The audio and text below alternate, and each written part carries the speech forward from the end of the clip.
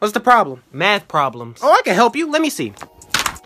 All right. Um, here's the easy one. What's six times three?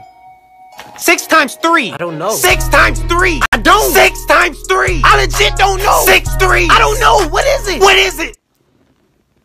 Get your mom. Why? Teresa. What's the problem? Homework.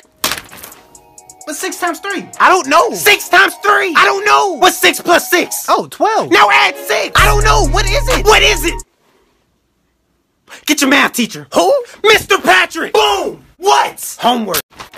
I taught you this. What's six times three? I don't know. Look, if Johnny had six times three amounts of this soap, how much this soap would he have? How much? How much?